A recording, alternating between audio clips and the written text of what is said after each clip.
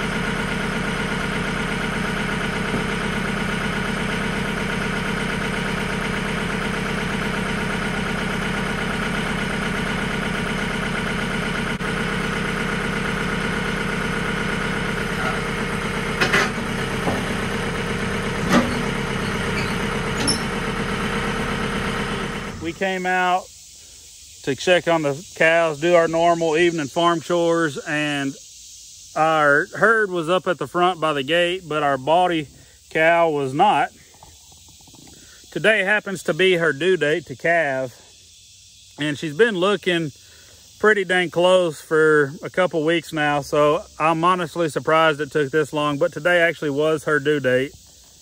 And uh, we found her in the back southeast corner and you won't see it, but at the base of that little tree right there, she has dropped a beautiful mottled face black uh, bull calf. He was up nursing when we pulled up and she was finishing cleaning them off. She's still trying to get the afterbirth out herself. He's brand spanking new. Um, she's licking on him again right there looking at him, I'd say, I'd guess somewhere around 60 pounds. But he's been on his feet walking around. She's been cleaning them off. We saw him nursing, so we know he's got some colostrum. She's got plenty of it left to give too, so very, very happy. This is our last calf right now uh, to be born. That brings us up to three heifers and two bulls.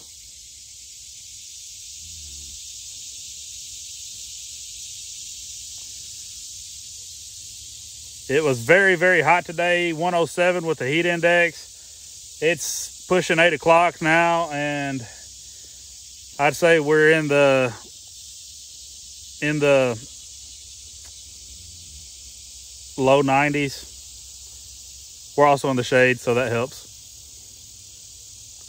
This mom is kind of flighty compared to the rest of the herd, so I don't want to get off and try and go any closer. The baby's still pretty wobbly and stuff. He just laid down. He was getting really wobbly, so unfortunately the flies are terrible, so mama's getting tore up by them. She's still trying to clean herself off and and the baby, but she is an excellent mother so far. Just she is a little bit flighty, so normally she's flighty, and I'm sure with a calf she's going to be even worse. So we're going to leave them.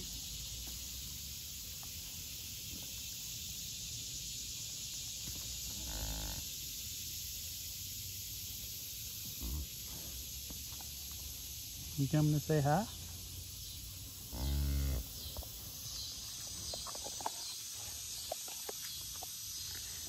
Ah. Hi, dude. Oh. Okay. I'm gonna leave your baby.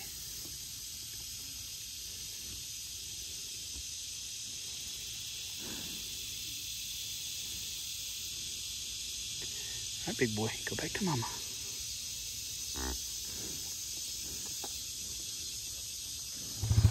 Well, I've not been able to show it a whole lot because I don't catch them that fresh as much, but the few times, every time I've caught them that fresh, if you go up to them, they almost always rock, uh, walk right up to you. And it's like the moms never want them to, but the baby does anyway. I've never had one come up to me while I was sitting on the four-wheeler like that. So that was really cool, uh, especially knowing that mom and how flighty she is. She likes her distance. She's not aggressive, but she does like distance. So uh, after another day or two, he'll never he'll probably never willingly come up to me like that. So pretty neat you get to experience it. You got to be there within the first 30 minutes after they're born to experience that, but they will come right up to you for some reason. They're just super friendly that that new, I guess.